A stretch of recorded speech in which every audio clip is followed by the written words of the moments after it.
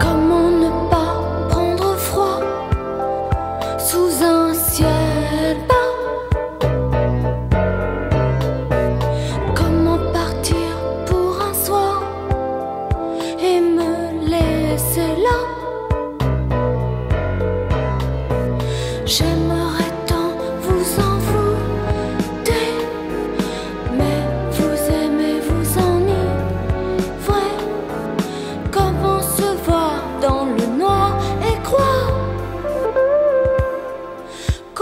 se voir.